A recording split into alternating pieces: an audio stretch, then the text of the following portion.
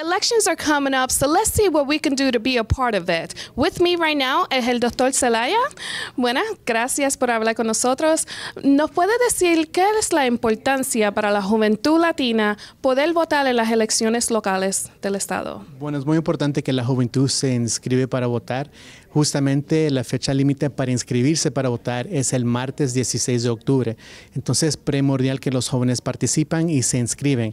Además de eso, estamos buscando jóvenes que pueden participar como jueces electorales o voluntarios el día de las urnas en los comicios. Los jóvenes que participan pueden ganar hasta 210 dólares para participar ese día. ¿Y dónde los jóvenes pueden um, buscar esta información para registrarse?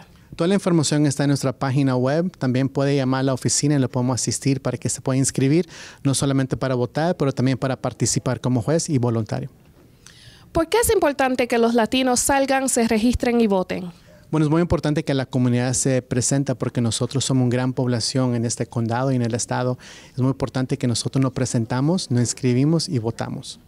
Bueno, muchas gracias por esa información y para todos ustedes, asegúrense que vayan y se registren para que puedan votar estas elecciones.